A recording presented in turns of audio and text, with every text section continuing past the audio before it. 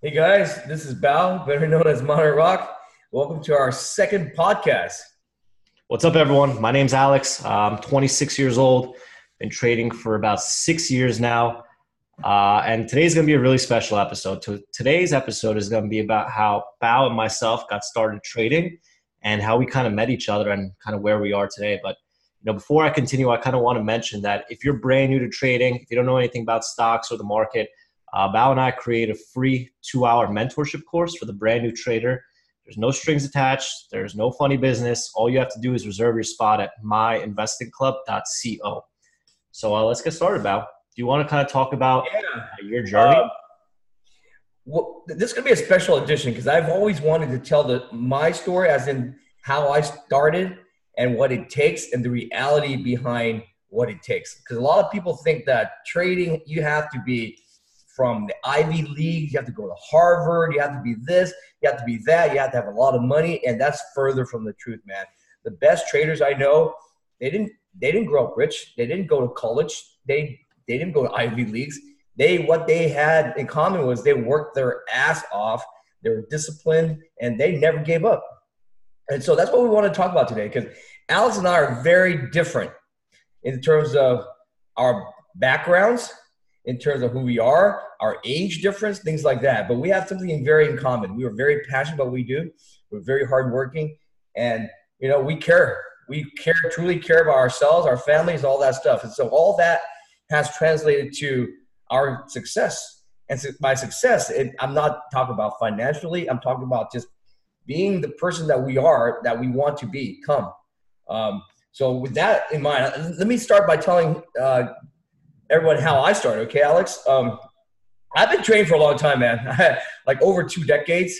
People didn't realize that stocks used to trade in fractions, man. Right now, you see a stock trading, let's say, at two dollars and fifty-two cents.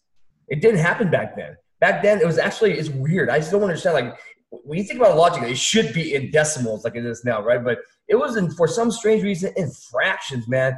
IBM was trading at $104 and three eighths. What the heck is a three eighths? So we usually have these calculators. I used to have a calculator sitting by my desk, Alex, and I would actually have to start out, what is three sixteenth? What what the hell is that, right? So you have a bit like 100 and three sixteenths by 100 and and five sixteens. I'm, I, we're just like, what's the spread? And it's, so we became very good at math. So back then it was kind of funny, right? I mean, if you think about logically now, it's like, what the heck? Computers were like we're doing that stuff back then. You know what I'm saying? So it seems kind of counterintuitive. Um, but the reason they did that, in my opinion, before is because when you're doing it in fractions, the spread is so big, dude. Because with decimals, you can get down to one penny, right, Alex? And what is a penny in fractions? It's one one hundredth. And You don't see that. The, the most I've seen is like a, a 64 or 32. But if you're doing $100 stocks, you're doing one fourth, one eighth. And you imagine, you know, like right now, if, if a stock is trading at, let's say, 25 cents spread, you're like, holy cow, that's a big spread, right? Imagine you're trading in fractions. You're, you're trading by 25 cents. You're trading one, one fourth is 25 cents. And so the market makers were making the spread these companies, these brokers making the spread. And so they were big bucks back then. And so uh, when it started to become decimalized, people were scared because everyone's scared of changes, right? So I, I remember back then when they started talking about decimalization, and I was like, holy cow, how can you trade? How can you trade? I was not an expert trader by back then. I was just gambling at that point. I just started trading. I was just gambling. But they thought that the world would end decimalization is like Y2K, things like that. So it's kind of funny where the market has shifted when logically it should have been in decimals to begin with. Who the heck is trading in three eighths, right? Things like that. So that's the world that I came from. But even before then, man, I, I want to talk about the reason I want to do this podcast is to, to try to inspire you as to, you know, it, it, you don't need to start, you don't need to have like an Ivy League education. You don't need to have like super rich parents in order to day trade. Um, and day trading is not gambling. So the moment I became successful at day trading is the moment I realized that it is not gambling. If you do it correctly, it is not gambling. So how when you started trading, Alex, it was already decimals, right? Yeah. So when I started trading, uh, it was right when the marijuana stocks were collapsing. So everyone made a shitload of money on the marijuana stocks. I wasn't really involved. And as soon as I started, everything just went straight fucking down. And I was like, what the hell is going on here? Because I didn't know that I, as a small time trader, could trade NASDAQ stocks. I thought that I could only trade penny stocks, OTC stocks, because I wasn't a professional, you know? Yeah, man. It's like, dude, I, the marijuana was crazy, man. I made many millions on that. That crazy. It was crazy. Um, but anyways, even before that, man, let, let, let me, let's let us talk about our upbringing, how we grew up, and so people can understand like where we came from, right? I, I'm actually an immigrant, man. I came. I've you probably heard this story uh, many times, but I'm going to tell it again from my point of view. I came to America when I was five years old. Didn't speak the language. I was actually a Vietnamese boat person. That was the name technically after the war. So after the Vietnam War, dude, it was very bad. And so it, people were trying to escape Vietnam. Um, and so my family, my mom got into a boat. It was a tiny ass boat. I posted pictures of this on Twitter. People didn't believe me. Um, but we escaped, man. It was three days in the ocean. Uh, no food, no water. Uh, my best recollection of my favorite meal was when we were finally rescued on the boat and the sailor guy, I forgot who rescued us, but it was a, on our way to Thailand. They gave me crackers, dude, and I still remember this cracker for the rest of my life. Oh man, you found that. yeah. So for so for those that don't know, uh, we do the podcast on audio, and we also do it on video on YouTube. And the video version, I'm pulling up the picture of Bao from uh, Vietnam. So uh, if you want to check out the podcast on YouTube, it's youtube.com slash my investing club. Yeah, thanks for finding that, man. I mean, for the longest time, dude, I was very ashamed of this photo growing up because I was like, who who wants to be an immigrant, dude? I, I when I so this photo is actually in Thailand, dude. And this was like taking taking like not too long ago but that we actually arrived in Thailand. So so we got saved because the whole thing was to to flee Vietnam, to go to Thailand because Thailand now we are refugees so that we so my dad was in the war, he was in America already, so he sponsored over from Thailand. But that picture is very significant, man. I mean, I, for the longest time, I was so ashamed of this photo because I'm like, I just want to be a regular kid. I want to be a regular American. I want to be thought of as like some dark skinned kid who's from Vietnam. And back then, man, it wasn't like this today. This was 1980s. I arrived in like 1980 or something like that, and it and I lived in Portland, Oregon, man. Portland, Oregon. I was the only Asian in the whole entire class. It was me and one African American named Ray Ray, dude. I still remember it to this day. And we, I got bullied every day. They called me Bow Wow. And Bow Wow wasn't cool back then. Before the rapper Bow Wow, little Bow Wow became cool. now Bow Wow back then was like a dog. They, they kept barking at me. It was it was horrible, man. And so this is what the adversity that I grew up with. I didn't speak any English. We were poor. We were on welfare. I mean, we just you know trying to fucking survive, dude. People would not believe it the way that I am today. People still don't believe it. But when I look back, I still don't believe. I, I, I cannot believe I, I was even alive. A lot of the people that escaped Vietnam never made it, dude. It was like, so this is a very similar story to your dad. Alex, yeah. tell me. Yeah, so my dad um, lived in Turkey. So he lived in a village uh, in Turkey. And they had a house the size of a closet. Uh, I think it was like made out of stone or something, something old school. Uh, he had three brothers and four sisters living under one roof his father was a blacksmith, you know, the makes like fucking metal shit.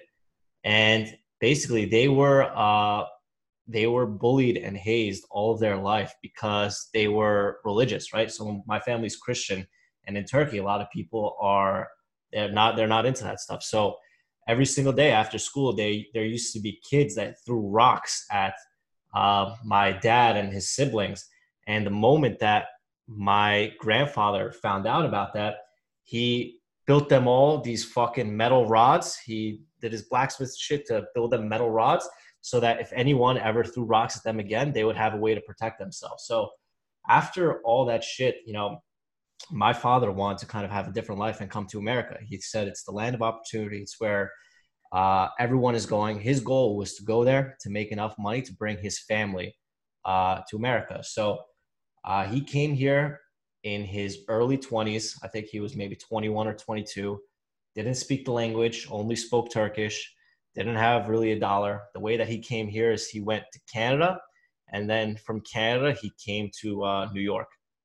Um, so he actually, it's kind of crazy because I think about it to myself, man. Like, if right now I'm 25 years old and I fucking fly to Russia and I don't know the language and I don't have any money, I have no idea how I would ever survive there. Yet my dad found a way to do it, and it kind of blows my mind. Like the whole story of even you, Bao, like you coming and not really not knowing anything and being bullied is kind of crazy because shit, man, it's like it's like I can't do that stuff today. So I have a very deep level of respect and admiration for anyone that kind of does that stuff these days. But that's the thing. I, I feel sometimes like I am like your dad, Alex, and I'm like you as well. I'm a, you know, I'm like a combination because, you know, I went through the adversity that your dad did, but at the same time, it's like uh, you went through the same shit that I went through, you know. So it's the same exact bullying, same thing because people don't understand us, man. They they look at you, Alex, and they go, "Oh, that's a rich kid," but they don't understand that the struggles that your dad went through. You know what I'm saying? They, they just take it for granted. They, they look at me now; it's the same exact thing, dude. They look at me and they go, this is a guy that drives night car. He doesn't relate. He's an asshole. He's an egomaniac. He is, you know, it, it, it's like, dude, do you not understand that that doesn't mean shit for me? It's, it's, everybody is can do this. So my, my whole thing when I grew up, man, was to be able to tell the world that, hey, man, uh, I am not marginalized. The people that are immigrants, the people that are, you know, like the people that have to work their ass off to get where they are, you know, like, dude, it, those are the people that press me the most. And when I grew up, there was really hardly anybody that fucking helped me, man. I, I came to this realization that society is kind of fucked up in the sense of they only want to help people if it benefits themselves. So like the pol- I don't want to get into politics, but the politicians always do stuff because they want to get votes. Um, friends want to be friends with someone because they got money or fame or something they want from them, right? And so it was a very sad feeling growing up to be very lonely, to be able to, uh, I mean, to be to be like basically shoved aside like trash, because that's what we were, man. I was an immigrant. My family was an immigrant. We were considered fucking trash, dude. It's like, how do we help society? How did we help America? And so, growing up, I, I I carried so much fucking hate with me, which drove me to my success as well. I can say, but at the same time, I was very angry. I was not happy. I did everything for the wrong reasons. It just so happens that I made it. That's because I had to, dude. I had to take it. There's no fucking choice. There was no safety net. There was, if I failed, I'm dead. You see what I'm saying? So, so that was the whole thing. I didn't, not as an Asian as well. Like, if you fell, not only do you let yourself down, you let your family down, your your dynasty down, your ethnicity down, your, your dog down, whoever the fuck your pet is, you know what I'm just saying? It was the most horrible feeling. So, so I'm stuck in this fucking Asian world, but I'm not really Vietnamese, Vietnamese, you know what I'm saying? I'm not really American. So it's kind of like half. So, so I am a, a very represent, very like normal representation of fucking the American fucking like melting pot there's so many people like us just wanting to, you know, just to have our own piece of the American dream, right? So I'll tell you how I how I did it, guys. I did it by, you know what, man, I, I could fight back, I could do whatever, but I channeled that reason, that that energy to, to fucking have a purpose. And so you can take your chip on off your shoulder and either do something negative and fight and do stupid shit like that and hate on others people. I hated people. But I didn't fucking act on it. That's the difference. I channeled it to to do what I want to do. My whole goal was to say one day, fuck you. I'm gonna be your boss. and You're come and ask me for a fucking job. I would fucking say no. That was my fucking dream as a kid. You know what I'm saying? So at when, but when that happened, it didn't really make me fucking happy. So I'll tell you one one good story that kind of changed my life as well. So I was I was maybe in eighth grade or ninth grade, I forget. Was one of those I used to get beat up every day in in a PE. Uh, so you know, like the, the locker room, you take off your shirt, you change for PE. Every time I took off my shirt, I was a little chubby little Asian kid, whatever. And so the guy next to me was this big, big guy. He was like a, and he would beat me up every fucking day, dude. and I was like, I fucking hate it, but I, I had no choice. I was, what what can I do? So the only thing I do is laugh it off. But I I hated going to PE, dude. I hate doing this shit. But I sucked it up, and then and then one day I got sick, and then I went back, and I go, "Where's that bully? Where's the?" And the, the someone next to me goes, "Dude, you didn't hear yesterday when you were gone sick? He got stabbed. Who the hell stabbed him? This Asian kid next to him. So I wasn't around for him to bully. So he tried to bully the neighbor. But the neighbor was a thug. he took a pencil and stabbed him.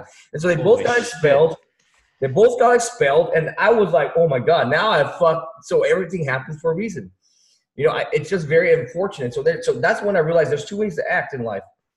You know, people piss you off all the time. You can either suck it up like I do and, and fucking channel it, or can react negatively like him.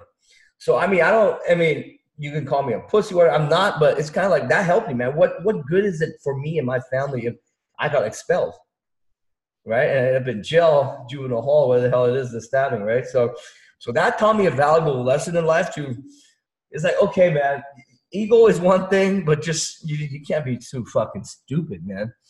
You know, um, same thing with you, man. I mean like Starbucks. People don't believe like how did you end up in Starbucks? You told me this, but I don't know. You want to share with people like? Yeah, I mean, sure. So uh, let me actually pull up the photo. So this is me when I was working at Starbucks. If you could see the uh, the screen here, it's Photoshop, bro. Yeah, me Photoshop, right? Nice and skinny. Uh, so what ended up happening is, so my dad came to this country in the '80s. Uh, he opened up his own business, and he was thriving for a very long time until I think it was early 2007, early 2008. Uh, his business went bankrupt. So all of a sudden, all the hard work that he did and everything that he worked his ass for was almost disappeared instantly because of the whole, you know, 2000, 2000 2007, 2008 in uh, America. So, you know, I had a choice. I could either just sit there and do nothing, or I could try to get a job and try to help my family out. So that's kind of how the whole Starbucks thing started. There was a Starbucks maybe five minutes away from my house. Uh, I applied to get the job there.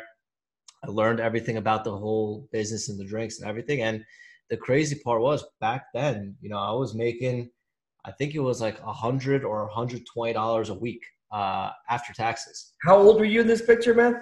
This picture has got to be when I was like eighteen or nineteen at wow. least. So yeah, I think I was still I think I was end of high school, first year of college, or something like that. Very, very early. Um, so I started just working there because I said, you know, that's probably going to be. I, I just wanted a job, man. I just wanted a job to make some money. I had a girlfriend at the time, so basically the way that I split up my money was, you know, gas was really, really expensive back then. So to fill up my tank, it was like sixty dollars. So I filled up my tank for sixty dollars. You know, I took my girlfriend out to the movies for forty bucks maybe had some food for like 30 bucks and that was it. I had no more money left for the entire week. So I was working my ass off the entire week just to be able to, you know, hang out with this girl, make her happy. And, you know, what ended up happening is uh, she broke up with me and I was really upset. So I, this was kind of like my first real girlfriend at the time. And I really liked her and I was head over heels. This just being young, I guess. But she broke up with you for the manager? no, no, no. She broke up with me. I think she found she found someone better. I guess I don't know, someone more good looking. But, but, but that's awesome, man. You you see you, you you see the commonalities now. So working at Starbucks, it take i mean dude i i don't know if i can work at starbucks now. It because people are screaming at you right? You're oh they're ordering you around. have no idea. You have no idea. So there's guys ordering you know venti double frappuccino lattes with skim milk and you know all this shit that you got to remember. And they they they're really they have no no patience for you. You know what i'm saying? Yeah because the people that drink coffee in the morning man they, they give me my damn coffee man. I can't start my day and stuff. So and then I, I, I see it man it's like it takes a certain personal a personal personality to like be able to take it because i man i i I work retail. My first job actually was at um at a great it was it's called Great America, which is Six Flags amusement park. So I actually worked there for fucking minimum wage, dude. Three dollars and fifty cents. Wow. That's how old I am. My minimum wage back then was three dollars and fifty cents. I remember working for dude, basically almost a month and got like three hundred dollar paycheck. My first paycheck, I remember exactly what I did with it. I bought a CD player fucking CD player for almost like 250 $300. That's that expensive right back then. And two CDs. Wow. And I was like, I worked for an entire fucking month, dude, to buy like two CDs or some shit. And CDs was brand new back then. So I still remember the first CD I bought. It was Erasure. It's fucking funny, dude. Erasure. I don't even know who that is, bro. that's modern rock kind of shit. That, that's where I got my name. So people always ask me, why you got modern rock? Modern rock is a genre of music. It's like new wave music. It's European kind of um, kind of pop dance, kind of like the precursor to uh, trance. Like I can say, I don't know, man. It's, it's, it's basically synthesized music with synthesizers and stuff. So that's that's where my name comes from, modern rock. Uh, it's cheesy as hell. It's I, I just don't know why. It's just kind of carried on for like, geez, since I was a kid, man. I, I just gave myself a stupid ass name. Uh, before that was Insomniac. Insomniac might have been a better name. That's funny. But yeah, I mean, so I was at Starbucks. My girlfriend broke my heart, and I said, you know, I have a choice. I could either get upset and just deal with it and you know become a hermit and just whatever or i could find a way to kind of you know like you said Bao, like to never deal with that shit again. So i thought the way to deal with it was just get rich. So i said i'm gonna get rich now. I'm gonna make her regret her decision. Uh, i'm gonna show her why she lost and if she ever comes back when i say no it's gonna be the best moment of my life so you, you, see how it is. You see how it happens, man. Some some bad thing happens in your life, and you can take it two ways. You can say "fuck you, fuck you," or you can channel like the way Alex did. He goes, "You know what, man? I'm gonna fucking prove to her." But when when he says prove to her, I think it's more you're gonna prove to yourself, Alex. That, that's yeah. that's what it is. And so same thing as me, man.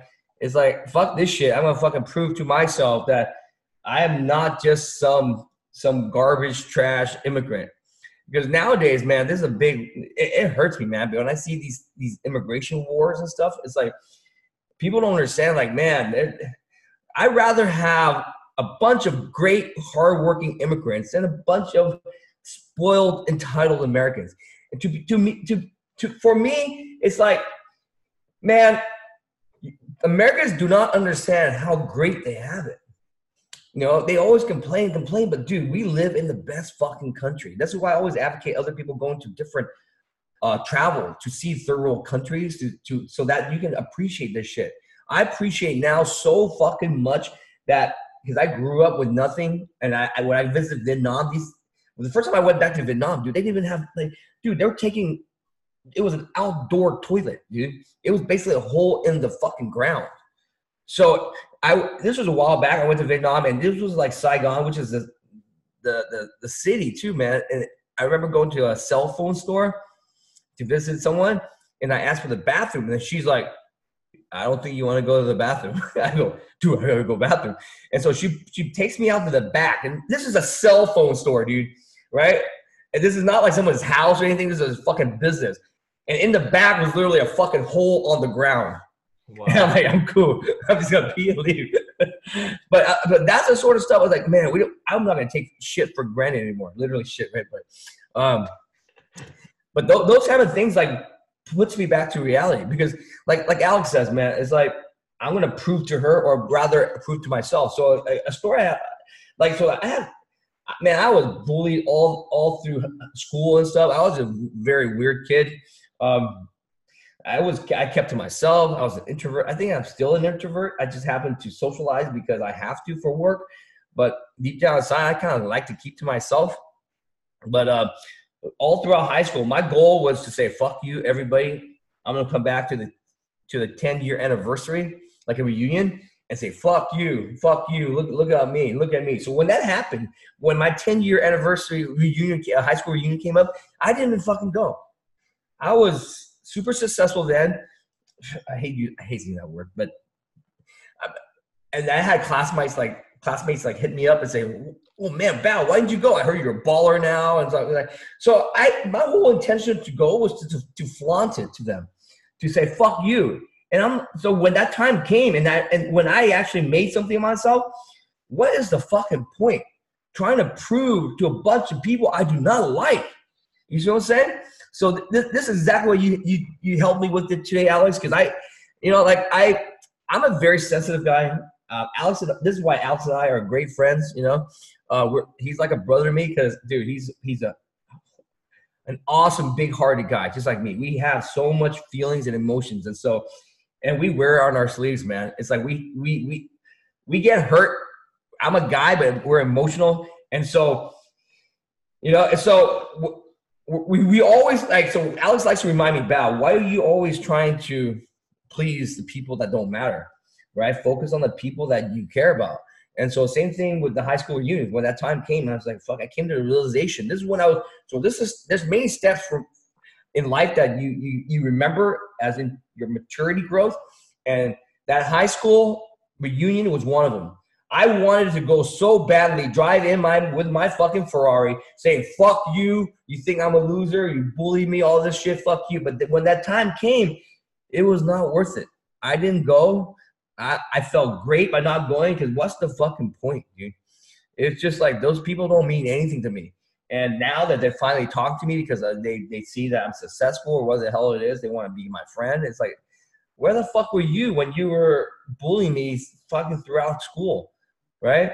They called me all sorts of names, man. It's fucking, you know, it's it's very different. I think if I grew up today, Alex, I, I'd be even more fucked up. Social media has really fucked up a lot of kids, and so um, it's tough. Know, I was you have all the cyberbullying these days too, bro. You have all the cyberbullying, like having friends comment on your posts and say like very hurtful and mean things. Having all these internet trolls come after you, like it's just it's tough, man. It's a tough world to live in these days.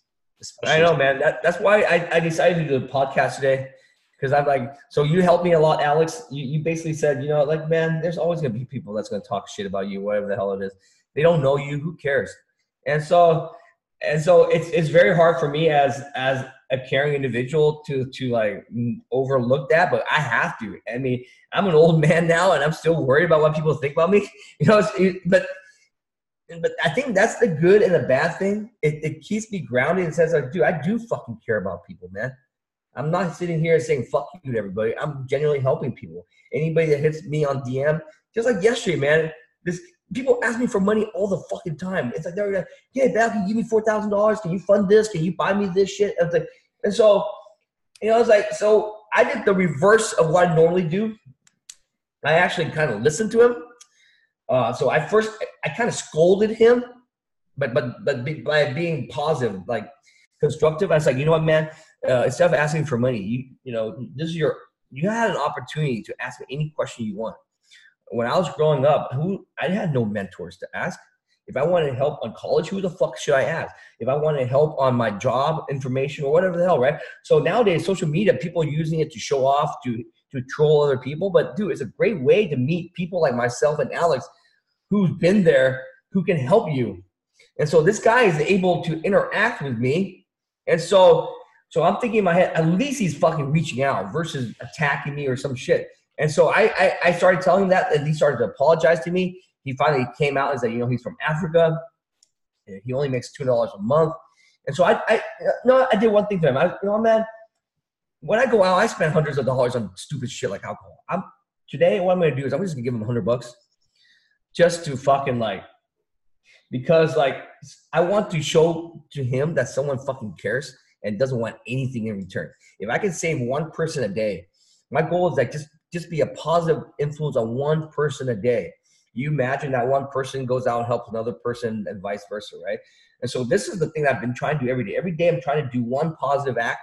It's very hard, man. I'm telling you, it's very hard to to do things without selfish reasons. And so I've been trying to get my, my head around that, right? Like everything that we do, we always want some shit out of it. Um, so is there such a thing as a selfless act? I mean, just because that's the thing. I feel bad about just talking about it. So by talking about it doesn't mean that I'm actually selfish, that I'm bragging that I did this.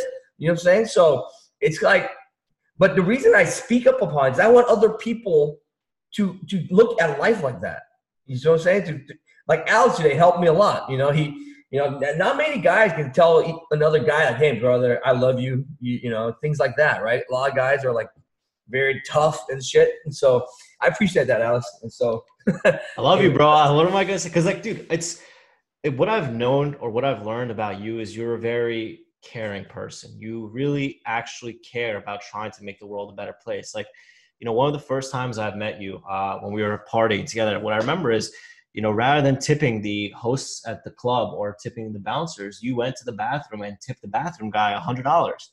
And you had no reason to do that. You don't get anything out of that, but that just goes to show that you are even trying to help and look out for the little guys that are overlooked. And that's why I think this stuff matters so much to you is because like you said, you're trying to do one good deed a day to make it so that another person does a good deed and then a domino effects to make the world a better place. And, you know, some of these people on the internet and on social media are just such hateful, negative people. And the problem is that, you know, we have to be focusing our energy on trying to help the people that want to be helped rather than wasting our time trying to help people that are clearly very brainwashed in their thought process. So, I mean, dude, like, I say it all the time, and you say it all the time that we're both very emotional people. Uh, I don't. I mean, maybe it's a good thing, maybe it's a bad thing that we're like this, but I mean, it's caused us and led us to where we are today. And again, it's not easy trying to give constructive criticism to someone. It's not easy trying to help someone because at the end of the day, no matter what advice you give someone, no matter what you tell them, unless they want to change, unless they want to improve, they will never do it themselves. It's the same thing with the Starbucks story. I had a choice. I could either sit there and do nothing, or I could try to improve and make my life better so that, again, maybe for my own selfish reasons, I could feel better about myself, you know? But yeah, man, that, that's the thing. It's like, so let's let's talk about trading now. Yeah.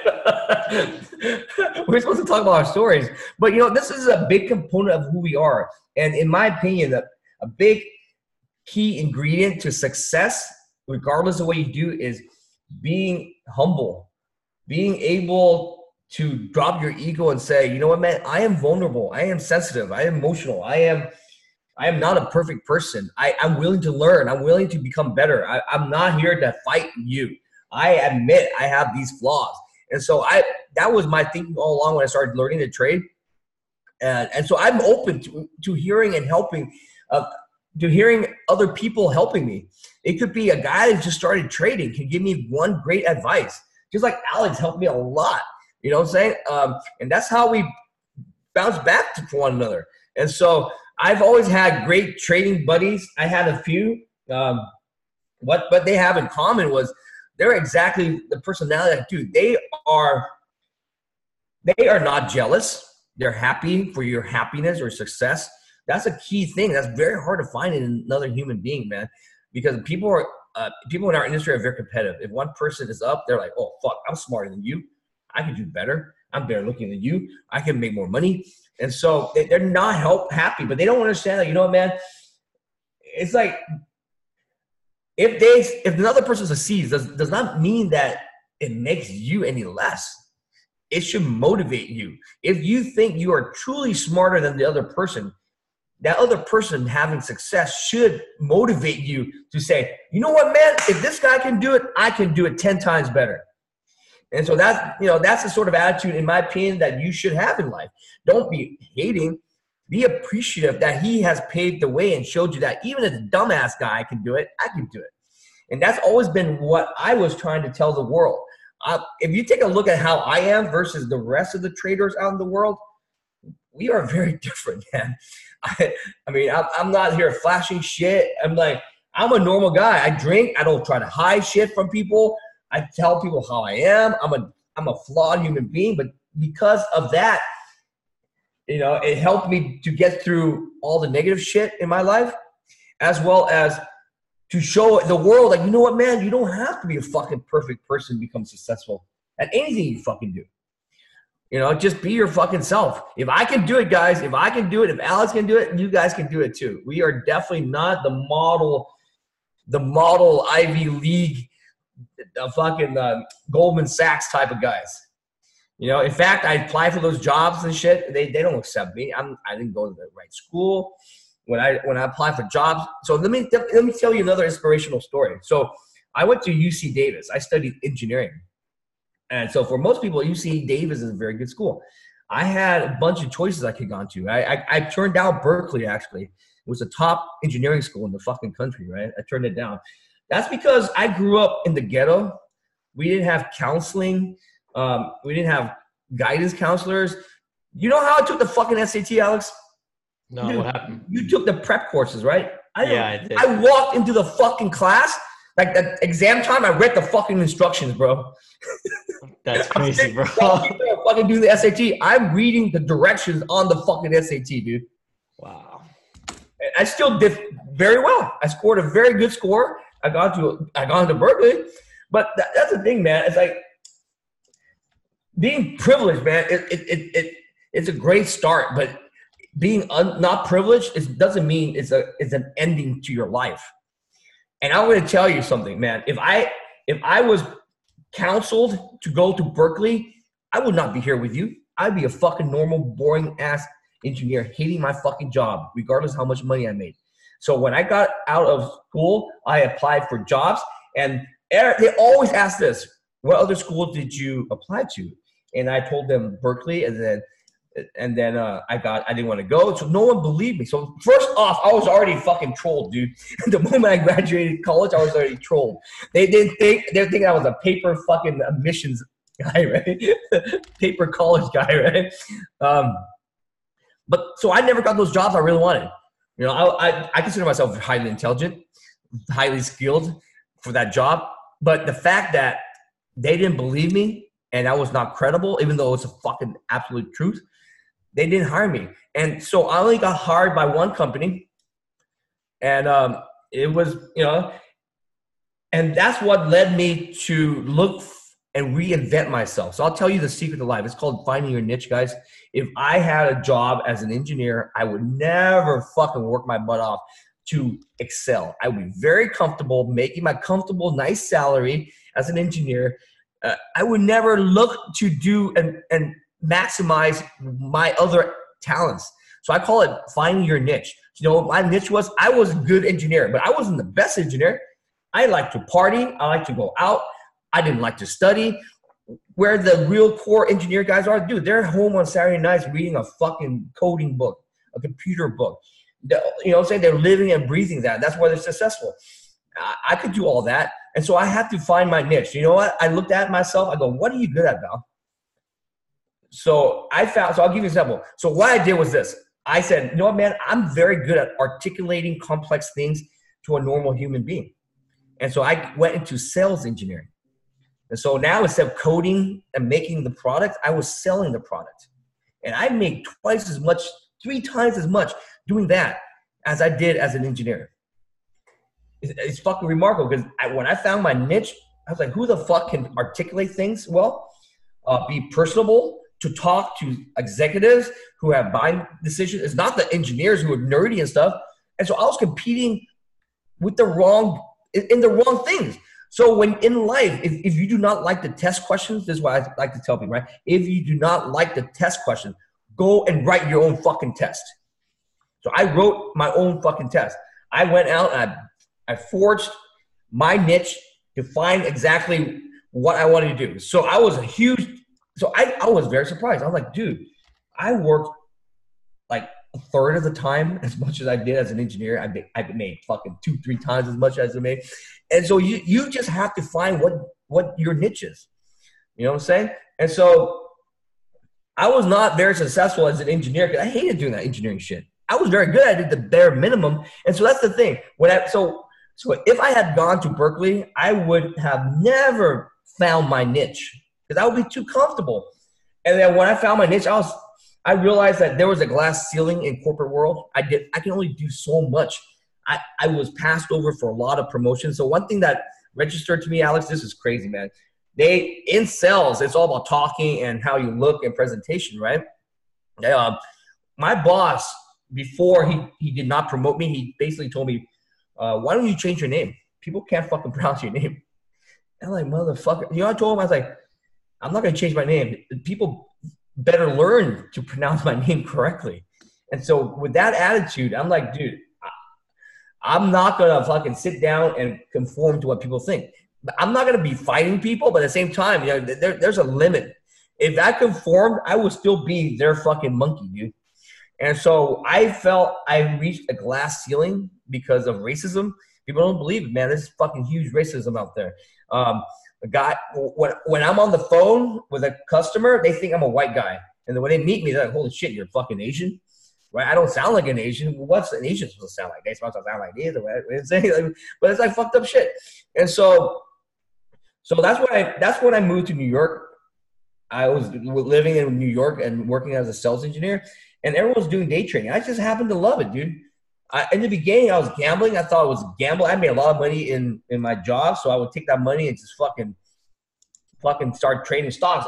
and when you start trading, you think every, you think you have a fucking system. So I had I was gambling on earnings, and I was like, hmm, I'm gonna analyze the earnings and and, and fucking guess. So my very first trade, my very first trade, I made 33 percent Silicon Graphics uh, it, it, fucking went, the stock went up. I was like, fuck, this is easy, dude. I got a fucking system. So I was like, fuck, I'm gonna, so I'm like, if I make 33% every fucking trade, I'm gonna be fucking a billionaire soon. so I, all I did was research this shit. I thought I had the fucking game because I, I started making money doing the earnings. And next you know, dude, I picked the wrong shit. It started going down and I lost all my fucking money, obviously, right? At the end, you always lose all your money. But that's when I realized that, you know what, man? I love this trading thing and I became very good at it because I was very passionate about it. So I always tell people, make passion your paycheck. I never knew I was going to be like how I am today in trading. I would never imagine I'd be fucking sitting here with you 20 years later, helping other people, being successful, whatever the hell it is, right? I just wanted to do it because I loved it.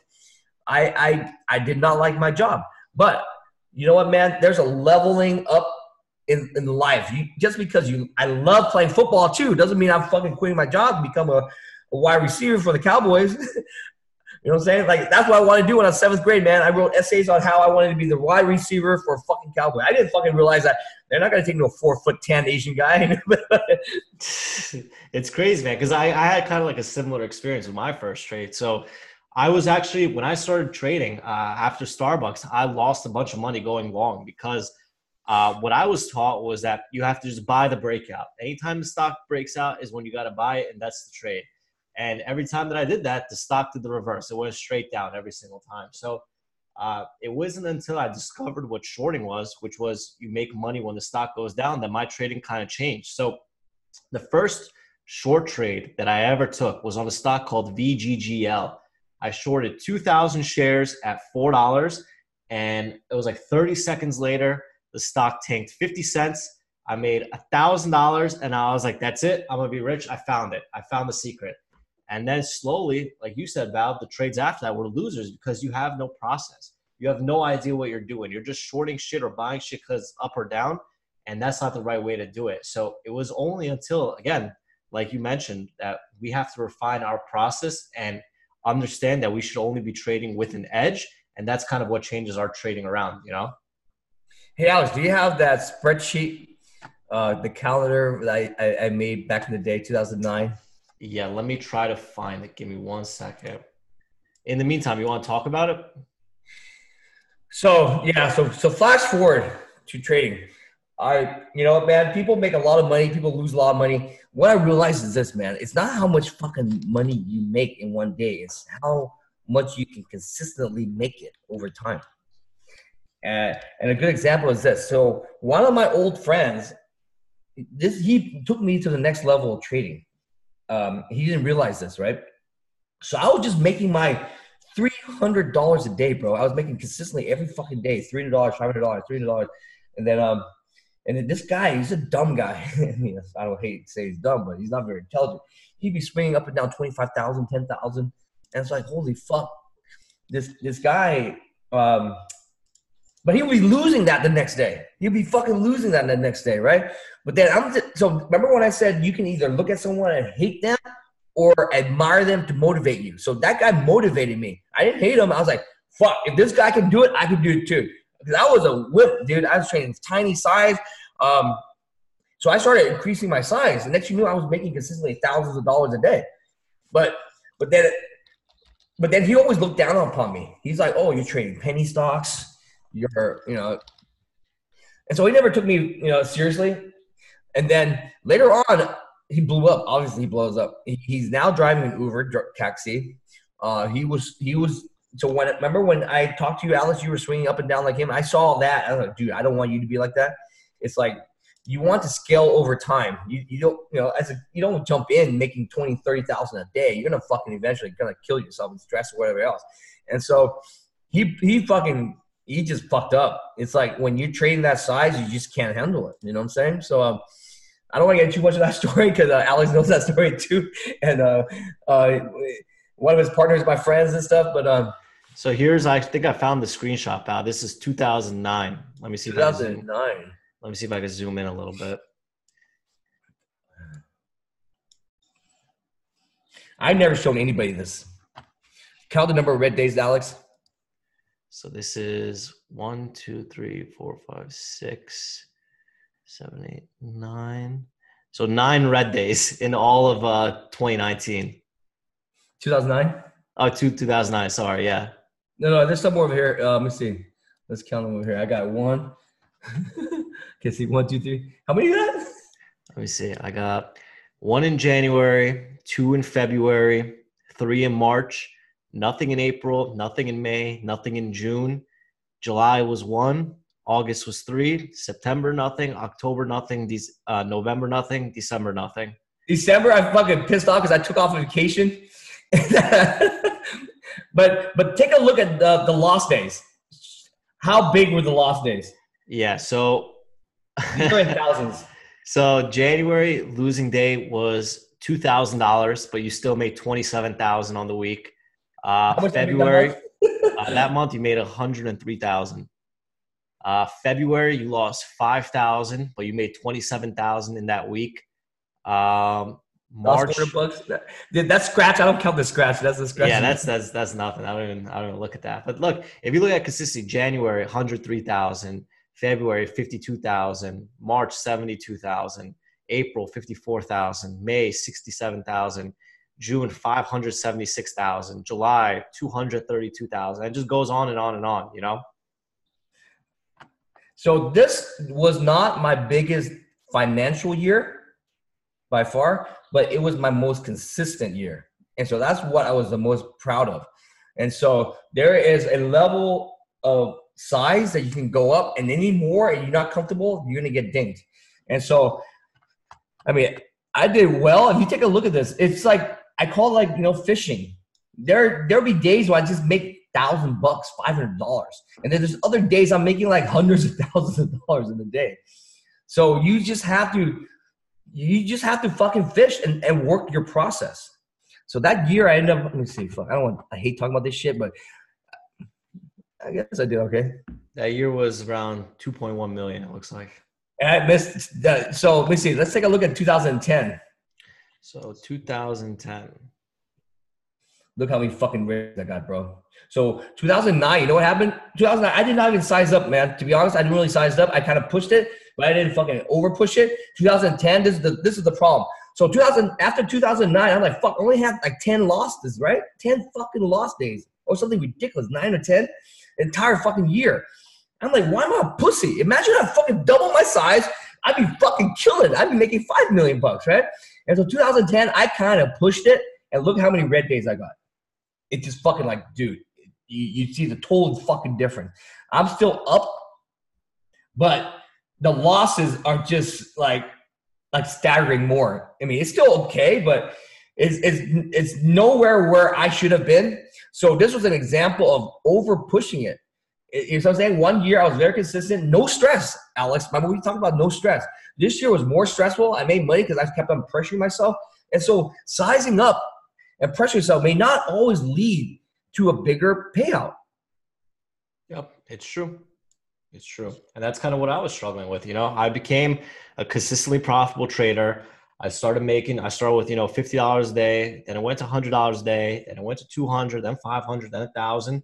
And then it got to the point where I said, I have to stop being a pussy and it's time to size up.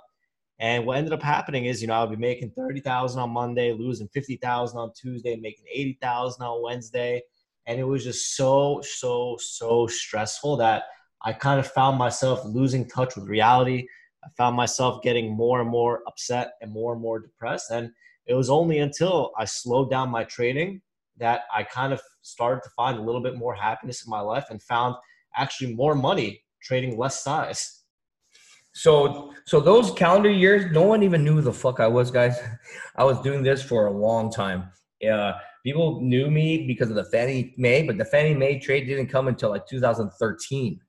That was all the way back 2009. So you see the leveling up process. People go, "Oh my God, you did so well," but they don't realize that, dude. I was doing, I was building up for that one fucking trade. I always call it like this: um, luck is when opportunity meets preparation.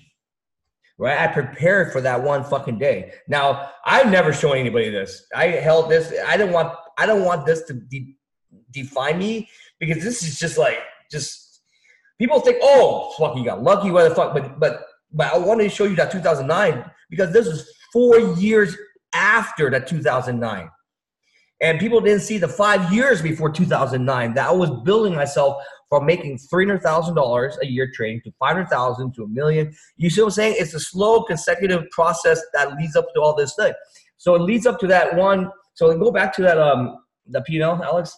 What I like the most about this is not the money, which I like the money too, obviously. But so I was trading many accounts. So this has happened to be four accounts.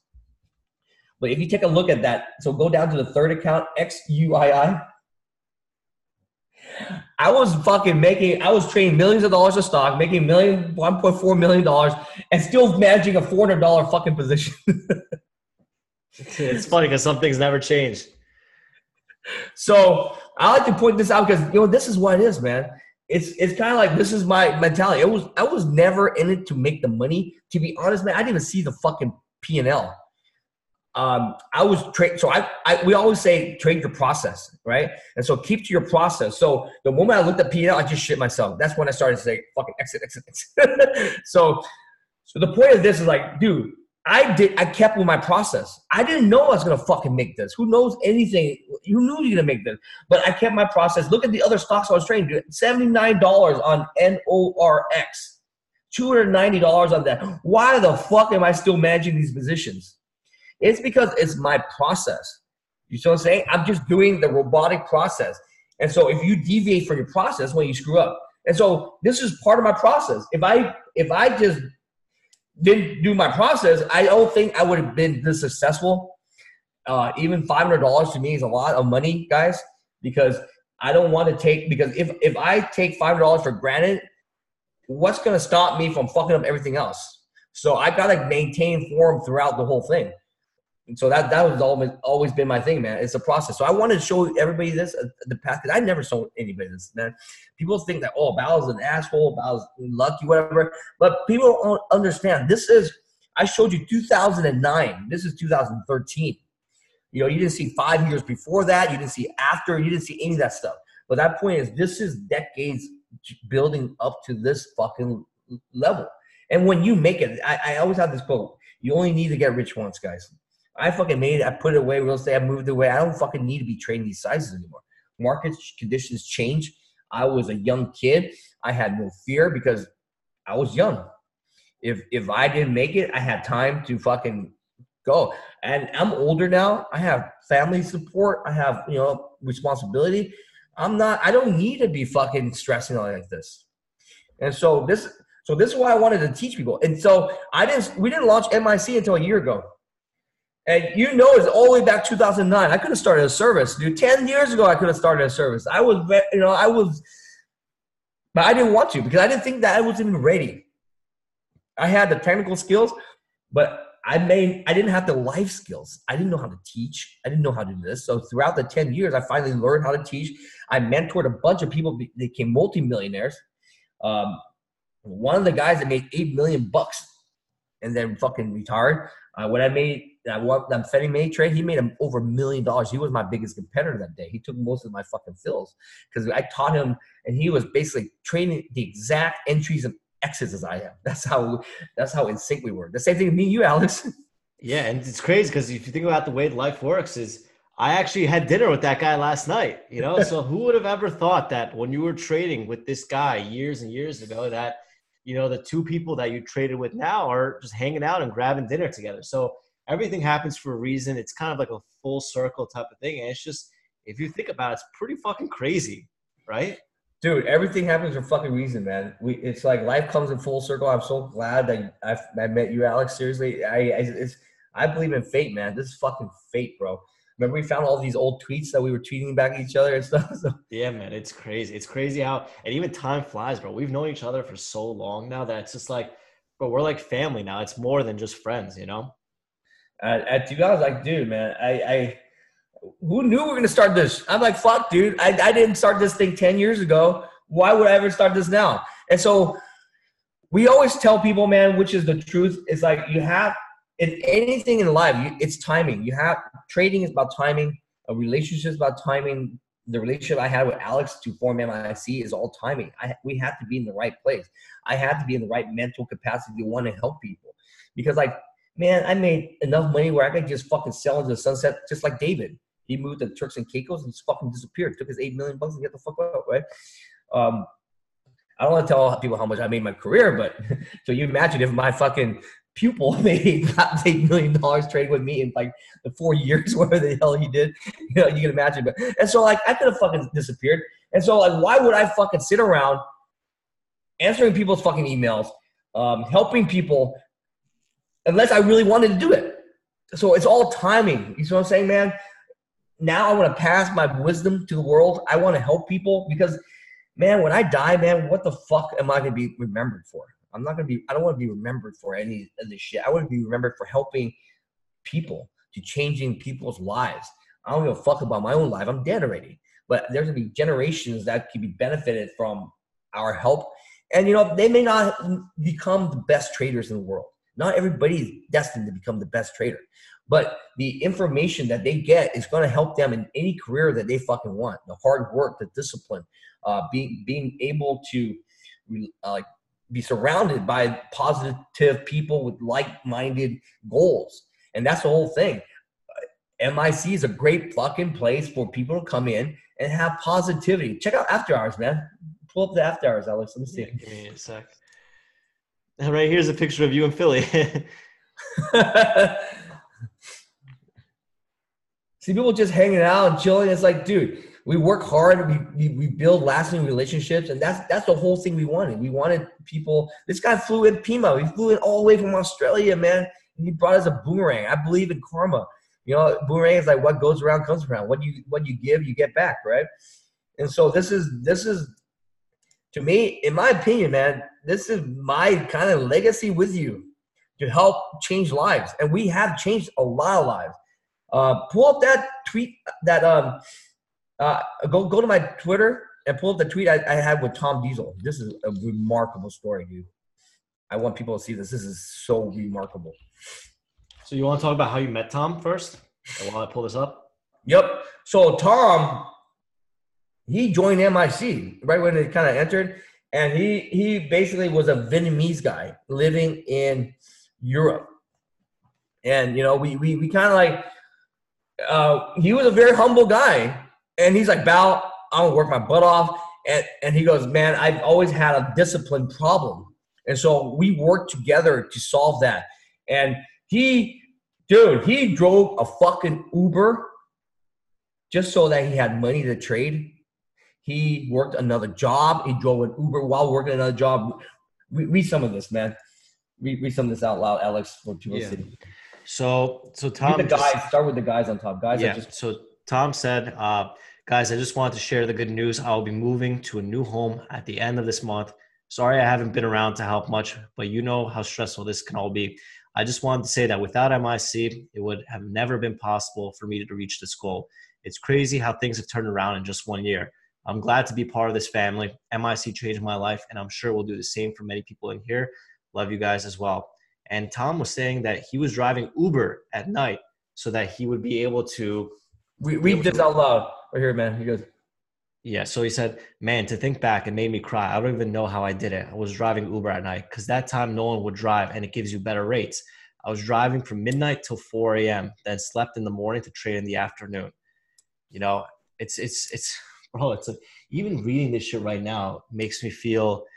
It makes me feel like so humbled that Tom is exactly the type of guy that deserves to have all of his success because he actually put in the work for it.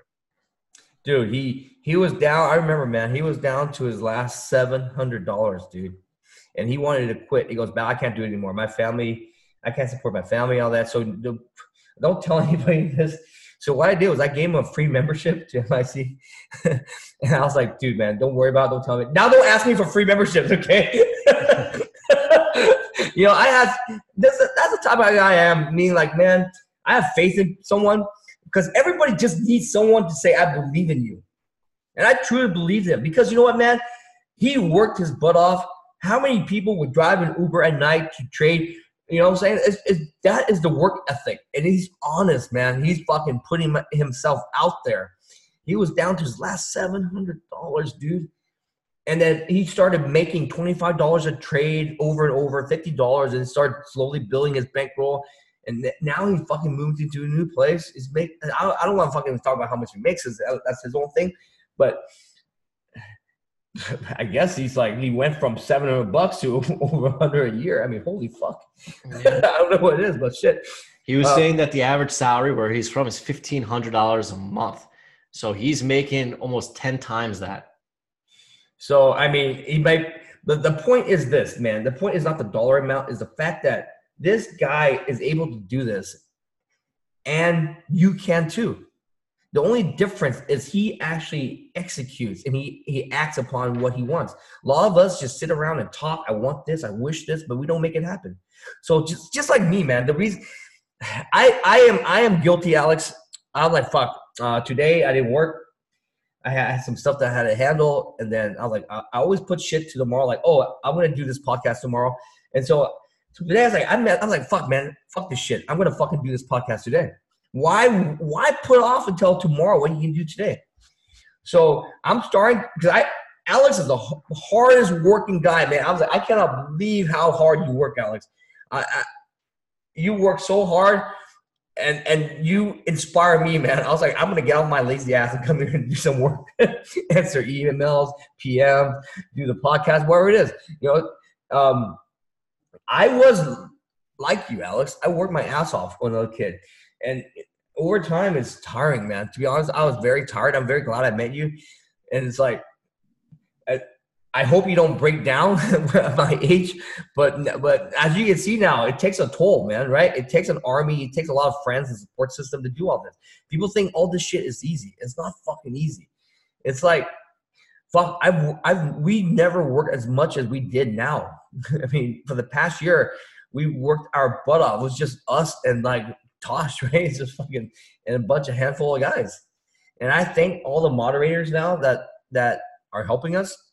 These guys are wonderful people, man. I mean, um, I, a lot of these people I have no idea before MIC, but they were just wonderful people. That's like you know, they they don't need to be a fucking multi-million dollar trader to be a moderator. That's not my intention. My intention is to pick the right people with good attitude to inspire people to help people they are now learning. Doesn't matter. People becoming awesome fucking traders, man. I think they're better traders than I am now. And I'm glad. I'm fine with that. I want the moderators and you guys to trade better than I do. You know what I'm saying? Because you, I mean, if, if, if I can coach you to trade well, fuck, dude, I can do this. We can do this for the masses. That's my whole point. My whole point is to help other people. I'm not here just to fucking help myself. And and I, you know, that's why I think it hurts me a lot when I hear these negative things because we honestly really want to fucking help people. And, and we put our heart and soul into this, and it's just fucking sad that you know some people are trying to tear us down and stuff. So, but you're right, man. We have to just kind of like forget it. Uh, this is one thing I'm learning. That's that's my negative side. I, I get into these depression modes. That's how I was been when I was a kid, right? So some people have their positive side and negative side when I work, I'm on, man. It's just getting to the point where I'm actually focused on work. That's the hardest thing for me right now because I really don't need to do this shit. to be honest, I have so much other shit going on. I don't need to do this shit. And so I have to find the passion and the reason to do this. And so when I read stories like Tom, Tom's story, it fucking motivates the fuck out of me. It's like, damn, dude, there are people out there that are just wishing for the opportunity to learn to do this. And we are, you know, I, I'm, I'm not taking credit for this shit. This is all this is all him, man. He's fucking phenomenal. We give him straight up. And he is now helping other members to do this. And that's what I love. That was basically our conversation to Tom. My, my conversation with Tom with that guy I was like, you know what, pay for it forward, pay it forward. I don't what do I want from Tom? You know, he, he has seven hundred dollars. He's uh he has free membership. He's just a wonderful fucking guy, man. Seriously. I just fucking want people to know that. It's like there are good people out there that deserves fucking uh, an opportunity. That's all every immigrant wants in the world, guys, is an opportunity. And like you said, Bao, all it takes is one guy to say that I believe in you, and that was what you did for him, and that changed his life. And you changed my life, Alex. You know, you, you're like, Bao, I believe in you. Let's start something different. And that's how MIC was started, man. Yeah. So I thank you, man. You believed in me. I was fucking seriously bad that time. I didn't fucking work. I didn't need to work. I would show up to work once a week whenever I wanted to fucking work. You know, I didn't need the fucking money. I didn't fucking like, dude, I was basically killing myself, seriously, because I was so, I had no purpose, guys. Alex knows this. It's like, dude, everybody needs a purpose. It's not financial, man. It, you don't need to be fucking poor to to be sad. I was very well off. I was top of my world. My my one of my saddest work moments was the day I made all that fucking money in Femi in one day. And then I woke up the next day, I thought it would be I would be fucking cured of all my depression. I would be fucking happy, but I was so miserable. That actually hurt me when people found out. Because now my friends never started. My friends didn't pay for shit after that. They go, "Oh, I was fucking rich." Like, what the fuck? No, I never got birthday gifts. Uh, no one set up birthday dinners for me because they're like, "Fuck, Bao what the fuck does he need? What can he get back? I never got any fun. I sent everybody Christmas gifts. All those pigs I sent, all those lucky charms you see I sent, I'm saying, I don't fucking get shit from anybody because they always look like me. Like, oh, don't need shit. But I just wanted fucking like, dude, you know, the best gift you give is not a financial, it's a, a thoughtful, caring gift. Like you think about them, right? And so the pig I sent to you, whatever, it was a cheap ass gift. I have it right here, bro. Yeah. it's on my desk, always on my desk for good luck. the funny thing is, I had the pig. I threw them all out because I thought the pigs gave me bad luck. so I threw my pigs out. So the, I guess the pig I give is good, but I shouldn't keep it for myself. So it's good. I mean, I mean, it's crazy because as like like we started the, at the beginning of the podcast, we kind of talked about uh, how we got started, like our adversity, what we did to kind of that one moment in our life. We had a fork in the road, right? Uh, that's the one thing that all of us have in common. We had a choice. We could either continue to be depressed or we could do something about it. Tom had the same choice. He could either spend that last 700 he had or he could try to be proactive and change his life. So, whenever you're at that crossroads in your life, because it's going to happen eventually, know that the easy way of just giving up is the wrong way. If you put in the work and you actually want to improve your life, there are so many resources out there that could help you improve your life. Yep. How long is this podcast already? That's it, bro. It's been an hour and ten minutes, so let's let's okay, wrap it perfect. up. I don't want to keep. Uh, we'll save the rest for the next time. Um, yep, sounds good. I, I hope everybody enjoyed that story. It was not really um, a blueprint on how you should live your life, but I guess you now you understand Alex and I a little more. And so I, am you know, hopefully you didn't get bored and trying to figure out who we are. But you know, that, that's our story. You know, uh, there's uh, more interviews online you can find of me and Alex. Uh, Chat with Traders has it. Uh, I don't want to repeat all the stuff that's in Chat with Traders, but check it out, man. Chat with Traders episode 100 is mine. Um, I'm 104, I think. 104. So perfect. You know, if you guys want to know more, well, the, the, the bottom line is this. I want to leave you guys with one thing. You can do it don't think that you cannot. I we all came from huge adversity. I was not even supposed to be alive. I was on a boat. We were raided by pirates. I thought I was gonna die as a kid, but here I am, man. We went through adversity. So success is what they, you know, they have this quote. I hate these quotes, but it's true, man. It's like it. Life is not a linear line. You have your ups and downs. It's how you bounce back from your failures, man. It's not a failure. It's a temporary um, bump on the road, right, to your destination. So don't ever fucking uh, lose focus of the goal, and always think positive. So I, my whole life, I was like, you know, you can either think of life as half empty or half full. I was always very blessed, man. Even even when I had nothing, I was very blessed because I'm alive. A lot of kids over in Vietnam are not alive. So, so my advice to you guys is, you know what, man? Fuck, fuck everybody, man. Do you be positive? Fucking work your ass off, and you can fucking do it. Love it. Thanks, guys. We'll see you next time. All right, thanks, guys.